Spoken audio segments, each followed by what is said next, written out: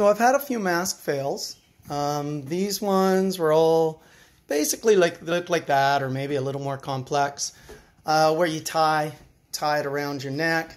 And then I got into the t-shirt sleeve, which was really cool, and I added something I quite like.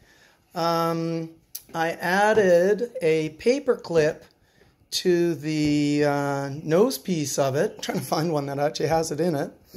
Uh, there's one. And I've stuck with, with that kind of concept because it makes a way better nose bridge than most of the ones I've seen.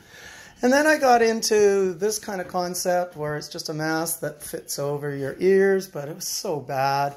And then there was kind of a fun moment of the sock. You can just cut this out of a sock and it makes actually a really good mask. Doesn't need a nose piece, but who really wants to wear a sock? And then I got into the anti-fog mask, which I just can't even talk about. And then got a few more with the, the regular little um, ear loops, and I didn't really like them. And then found this one, and I quite like the shape, but the ear loops I didn't like, so I made an attachment there.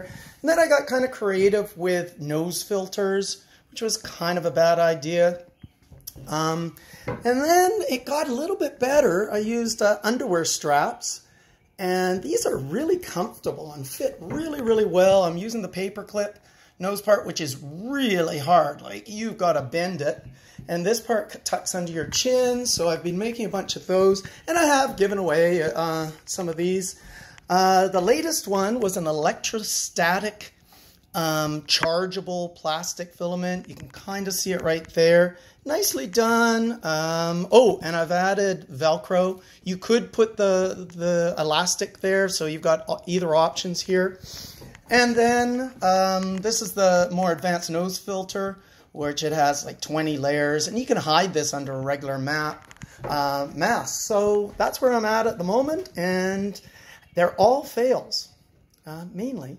So I'm going to keep on trying. I'm not sure how many masks you have to do. I think I'm looking at about 38 uh, before you become an expert, but I'm working on it.